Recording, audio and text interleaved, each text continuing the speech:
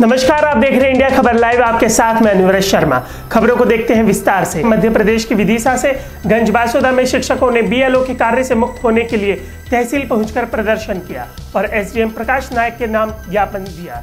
पिछले कई दिनों से शिक्षकों से बीएलओ का कार्य करवाया जा रहा है, जिस वजह से यह शिक्षक टीचिंग पर ध्यान नहीं दे पा रहे हैं। बीएलओ का कार्य करने की वजह से यह टीचर्स अपने नैतिक कार्य पर ध्यान नहीं दे पा रहे हैं। स्कूल से संबंध अभी तक कहीं कार्य पेंडिंग है। टीचर्स ने एसडीएम को ज्ञापन में खुद को बीएलओ के पद से कार्य मुक्त करने की मांग की है। टीचर्स के अनुसार उनके शैक्षणिक क्रियाकलाप में व्यवधान हो रहा है।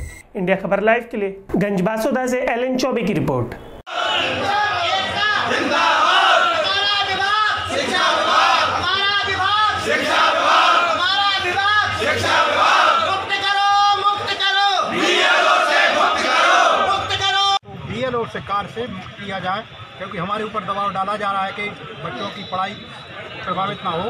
और अगर प्रभावित होती है तो आपको पनिशमेंट दिया जाएगा, आपकी तनख्वाह से काटी जाएगी।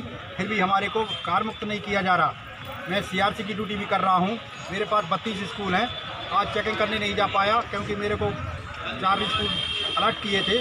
उसमें मिड लाइन टेस्ट चल रहा है। वो हर दिन रोज चेक करके उनको करने के लिए जाते हैं तो कहते हैं कि बी का काम में चले गए हैं।